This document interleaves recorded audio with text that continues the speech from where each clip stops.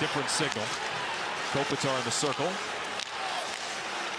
Doughty to Kopitar.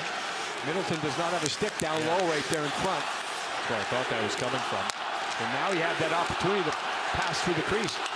Side of the net, they score! And the Kings cash in on the power play. It is Kevin Fiala.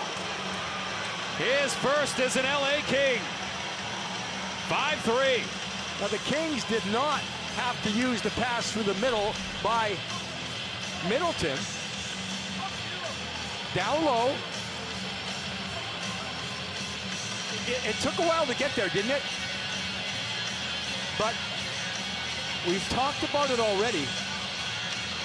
It's Kempe that finally feeds it. And now this shot is, I mean, that's, it's a bad angle, but then you see where the shot goes in and you go, oh, I mean, that's tough to stop. But that position, Kempe scored a goal from there this year. Now Fiala, the interchangeable positions, but still getting the best chance from the, that spot down low with a one-timer. Big, big difference on the power play. The one-timer's working. Kings, once again, lead by two. Short side high for Fiala.